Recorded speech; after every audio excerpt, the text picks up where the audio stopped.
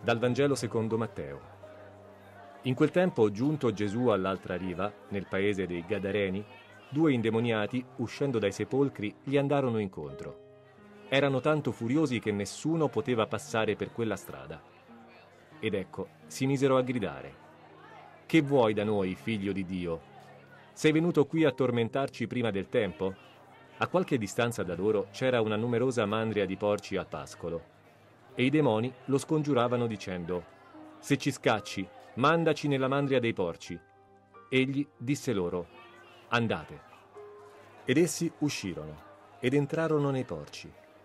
Ed ecco, tutta la mandria si precipitò giù dalla rupe, nel mare, e morirono nelle acque. I mandriani allora fuggirono e, entrati in città, raccontarono ogni cosa e anche il fatto degli indemoniati. Tutta la città allora uscì incontro a Gesù. Quando lo videro, lo pregarono di allontanarsi dal loro territorio. Ci sono alcuni preti che quando leggono questo brano del Vangelo, questo altro, dice, ma Gesù ha guarito una persona di una malattia psichica. Eh, non leggono questo.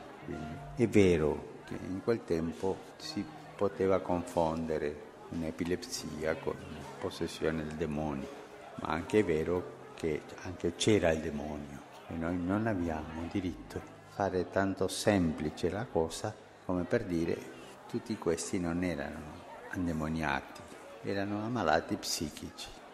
Mm.